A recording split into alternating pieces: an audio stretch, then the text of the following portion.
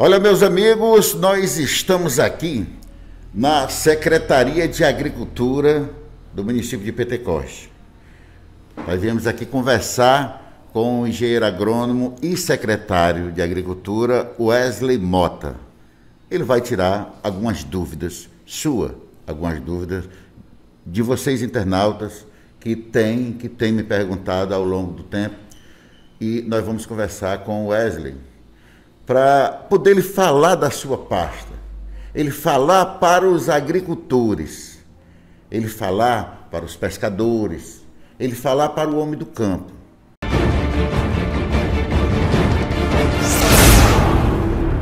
Como é que você está vendo esse ano de 2021 com o inverno assim meio que capenga? Meus cumprimentos a, a todas as pessoas que fazem parte, que acompanham ao sistema Legness de comunicação. Zé, é, realmente nós estamos numa, numa, num período complicado. Né? 2021 foi um ano que teve chuvas abaixo da média em praticamente, eu acho que, que se não tiver tido, foi em, em, todos, mas quase todos os meses desse período da quadra chuvosa, a chuva foi abaixo da média esperada. É, isso traz uma preocupação para a gente que está aqui na, na, na, na, Secretaria de Agricultura, mas também para a gestão municipal como um todo, com a questão dos agricultores, com a, com a questão do sistema de abastecimento, com a operação PIPA, porque com o inverno curto, o período de falta de, de água, o período do verão, é como a gente costuma chamar aqui, vai ser longo. Então isso, isso já traz uma preocupação e isso já faz com que a gente comece o nosso planejamento mais cedo, principalmente para os sistemas de abastecimento, como é, como é o principal foco nesse período. Né? Agora, a secretaria ela tem várias pastas, né? tem várias pastas, quando eu falo assim, várias áreas dentro da secretaria que trabalha. Porque essa secretaria é agricultura, pesca e defesa civil. A parte da Defesa Civil a gente acompanha principalmente os sistemas de abastecimento, a operação pipa e as situações emergenciais. A parte da pesca é uma área que a gente está dando aquele apoio inicial para os pescadores, mas a gente tem muito espaço para que a gente possa trabalhar dentro dela ainda. Ah, e a agricultura a gente divide um pouco, tanto na parte do campo como na parte da, da pecuária. Né? A secretaria, por exemplo, ela tem aqui um espaço dentro da parte da, da pecuária, onde o, o, agricultor pode vir fazer sua declaração da, da febre, da vacinação da febre aftosa, mas também fazer uma GTA, fazer uma solicitação de um apoio para a solicitação de semente junto à Conab e também tem as outras partes, a outra área relacionada à agricultura, né? O, o produtor que chega aqui para precisando fazer, por exemplo, um trabalho do da etapa do Garantia Safra, né, que provavelmente esse ano a gente vai ter né, decretado, a gente só está aguardando, porque tudo aponta para isso, que o nosso município mesmo nós tivemos locais onde a perda foi superior a 50%, a perda da produção. Superior a 60% em alguns pontos, né? Então a gente está aguardando o posicionamento da, do governo do, do estado, do governo federal em relação a, a essa questão do garantia safra, se a gente vai ter é normal, né? espera, espera o término da quadra chuvosa, faz uma avaliação e aí nesse ponto é que a gente vai saber se vai ser decretado ou não é, a necessidade, né? a perda da safra para que o, o agricultor receba esse recurso. Que é uma dúvida que os agricultores têm, porque o seguro safra ele é um seguro. A gente só recebe, o agricultor só recebe se for decretada a perda. Ele paga aquela parcelazinha lá é, no início do ano, 17, 18 reais. O município paga uma parte também. Aí como o município paga referente a todos os agricultores, ele divide esse valor em seis parcelas e ele vem pagando. Eu acho que a gente já está na quarta parcela que o município vem pagando. O Estado paga uma parte e a União fica responsável por uma outra parte, é o, é o seguro. Mas o agricultor só recebe se for decretado perda. Né? E dentro dessa, desse, desse, desses dessas áreas de trabalho, nós estamos aqui na secretaria é, recebendo as demandas né, da, dos agricultores e executando alguns serviços né, que é dentro dessas áreas.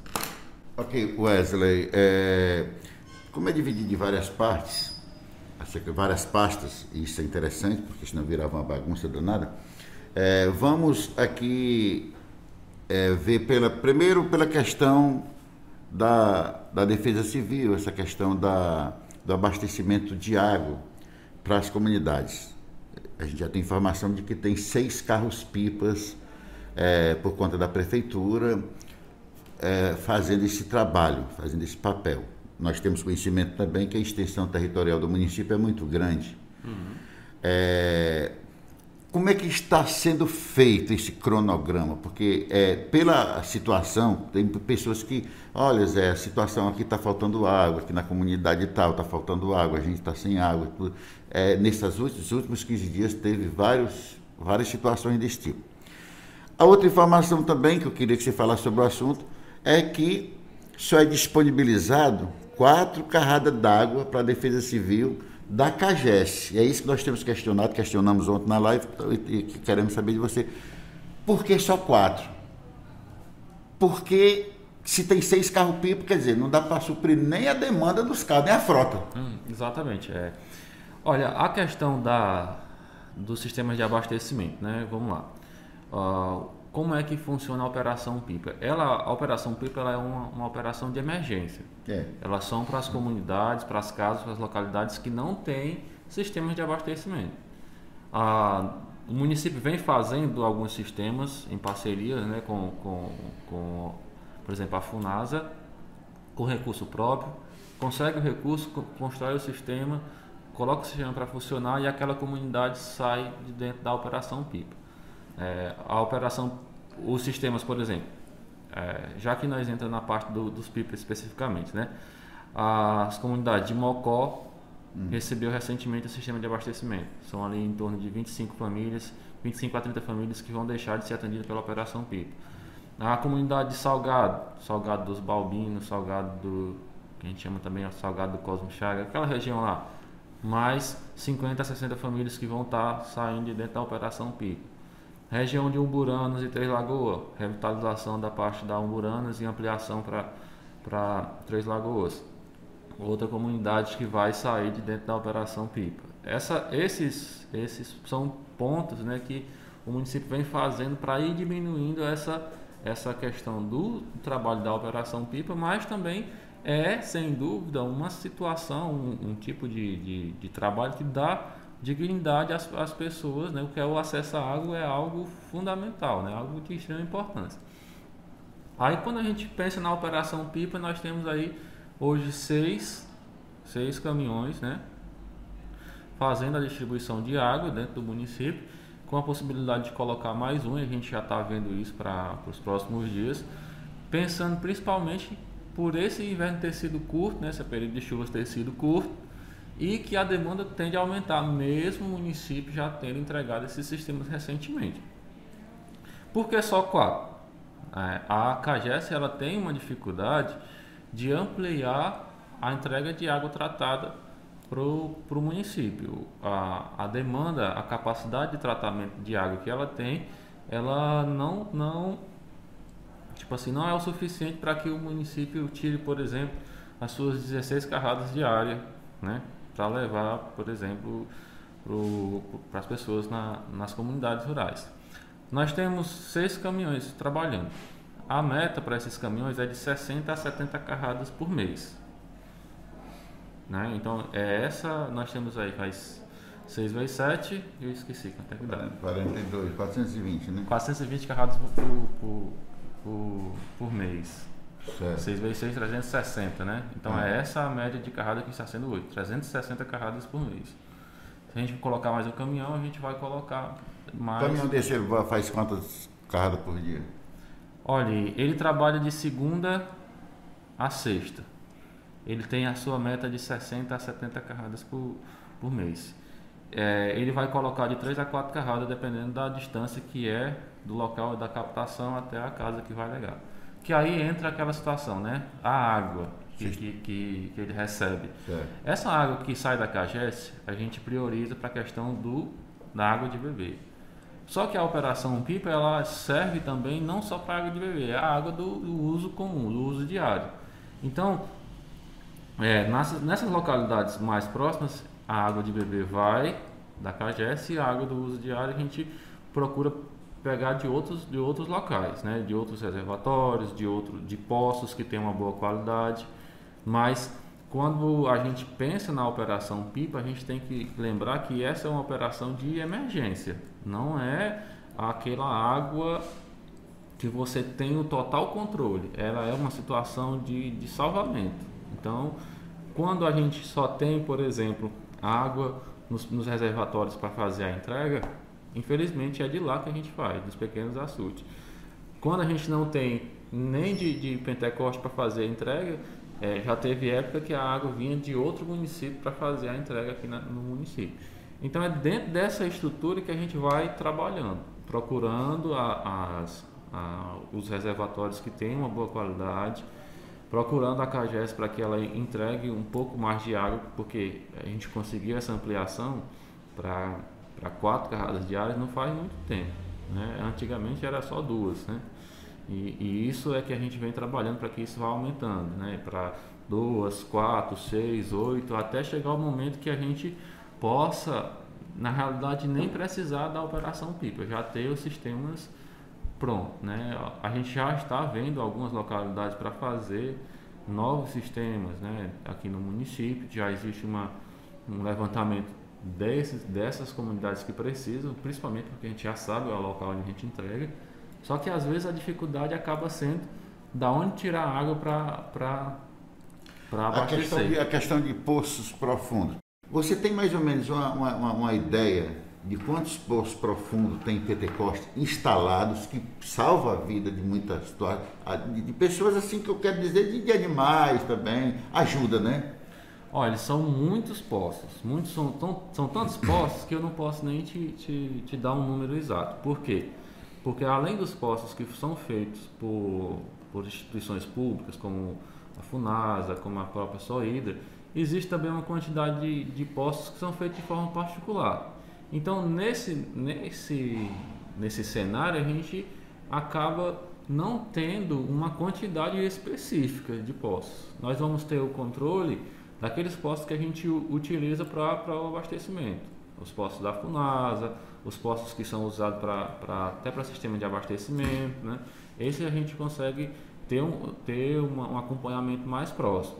Mas se você disser, Wesley, quantos postos profundos existe no município de Pentecoste. A gente vai demorar muito tempo para conseguir fazer esse levantamento. Por quê? Porque é, não passa por essa secretaria, por exemplo, ah, eu vou cavar um poço aqui na propriedade do Zé. O Zé realmente, ele, por conta própria, ele vai fazer o poço. Não, ele fez por conta, não, não, não procurou nenhum órgão para fazer essa autorização. Então isso dificulta muito a quantidade de, de mensurar a quantidade de poços.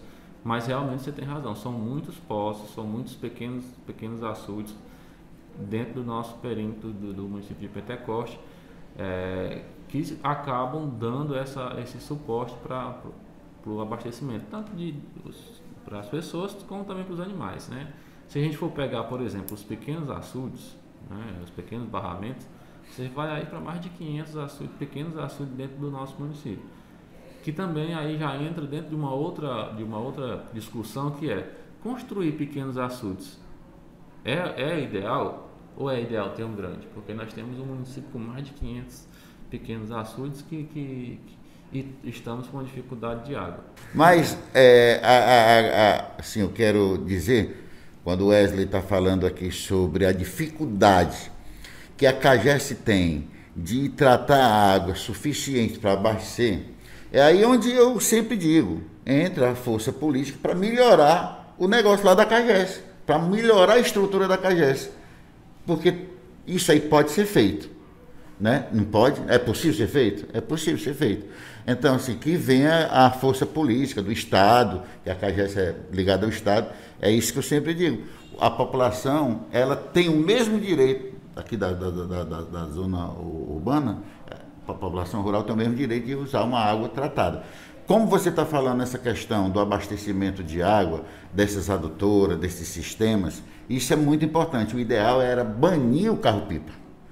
O ideal era esse, a gente sabe. Porém, a gente sabe também das dificuldades que vocês passam. Município extensão territorial muito grande, muitas dificuldades, mas com certeza é, vocês têm condições de apimentar mais a coisa ainda para. O ano é difícil. E no ano difícil, com certeza, as grandes soluções aparecem.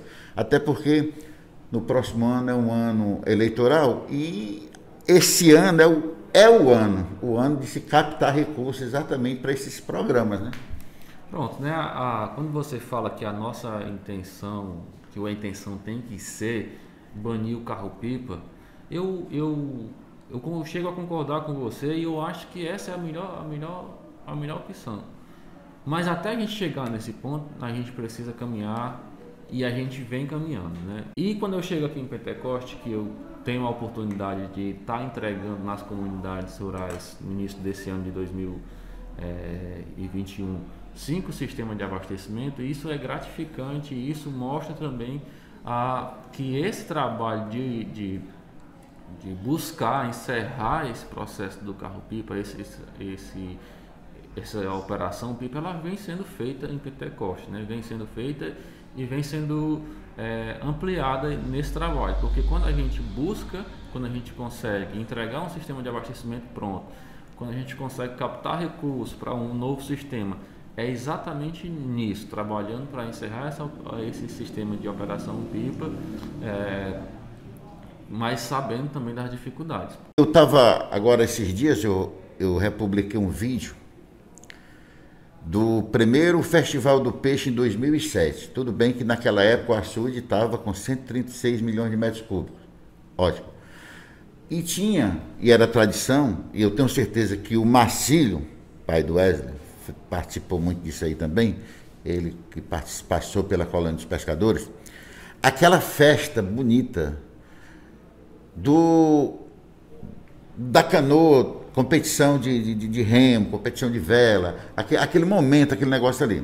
Eu sei que isso aí faz mais parte da Secretaria de Cultura também, mas por que não pensar nisso aí para valorizar mais o, o, nosso pescador? Assim, tem alguma coisa para dentro dessa, dessa área aí, para assim, vocês têm pensado em alguma coisa aí no sentido? Zé, para o pescador, a secretaria é a Secretaria de Agricultura e Pesca. Né? Nós estamos aqui na, na área da pesca, como eu falei no início, é uma área que a gente tem muito espaço para trabalhar. Realmente essa festa do peixe a gente já conversou, eu, eu, teria, eu conversei com Márcia é, no início do ano e a gente falou sobre isso, mas a gente busca a estratégia para é, revitalizar esse momento. Agora, para esse ano eu, eu acredito que, que não é o ano de se fazer. Esse ano é complicado. Eu estou pensando futuramente, não, porque aquilo era muito bonito. Ah, é, sim. Eu, eu nunca participei das competições com, com, nas canoas e tal, mas acompanhava de perto, estava lá. É, e a gente precisa de momentos realmente como esse para valorizar a, uma, uma área, por exemplo, como a área da pesca. Como também a gente pode pensar em outros momentos para a agricultura, né?